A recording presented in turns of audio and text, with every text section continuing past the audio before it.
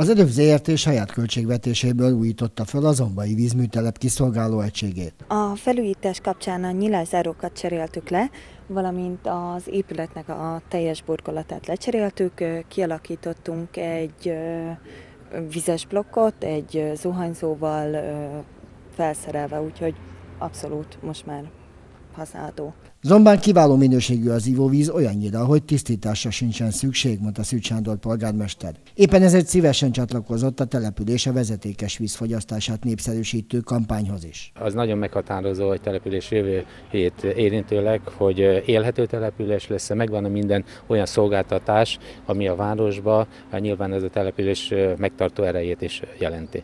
Ezért van szükség például a vízrendszer korszerűsítésére is. Zombának 100%-os a bekötöttsége az ivó és a szennyvízhálózatban is. A most elkészült beruházásra másfél millió forintot fordított a vízműszolgáltató saját költségvetéséből.